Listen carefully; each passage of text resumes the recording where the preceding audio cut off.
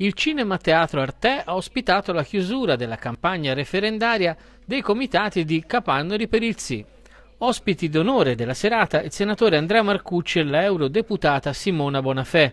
In platea molte persone di ogni età, oltre ai rappresentanti istituzionali, che hanno applaudito i vari interventi.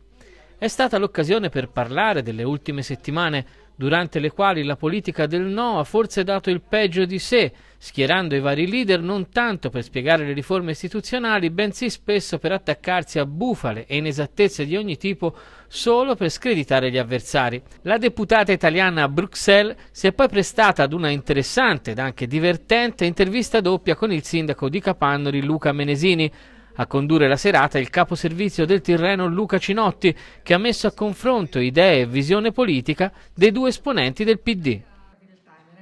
In Europa di referendum giocato sulle bufale, io ahimè ne ho già visto uno, che era quello del giugno scorso sulla Brexit, dove devo dire che i sostenitori della Brexit ci hanno messo dentro di tutto Vorrei evitare che questo referendum si giocasse sullo stesso campo e quindi penso che abbiamo ancora qualche giorno per sgombrare dal campo tutte le bufale che sono state messe e fra queste anche il fatto che se dovesse vincere, i, o meglio, che, che, insomma, che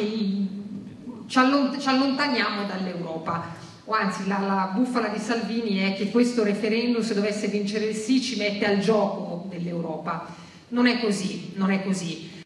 Io sono arrivata a Bruxelles due anni e mezzo fa e vi posso